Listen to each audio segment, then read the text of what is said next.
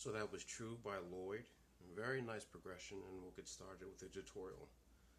And uh, we're starting off with the B minor 7th,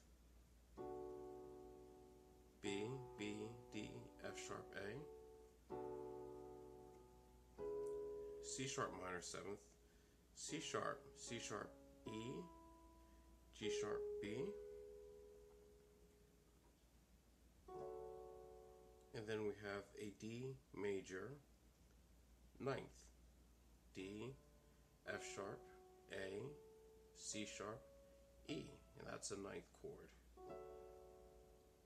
And it's a pretty straightforward progression.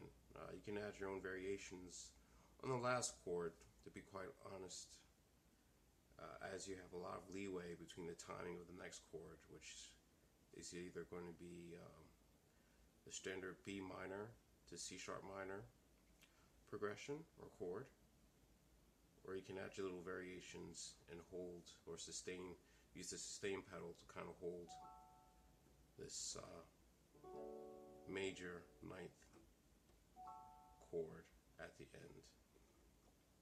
So from the top, B minor, C sharp to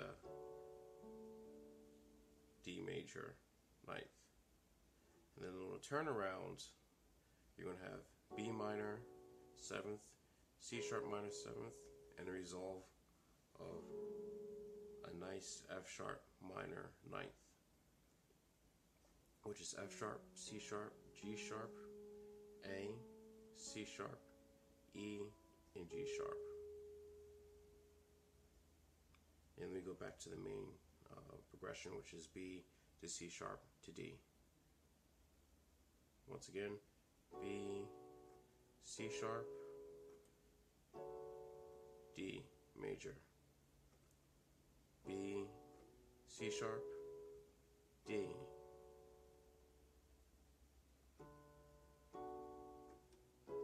And then the turnaround, which is uh, B to C sharp to F.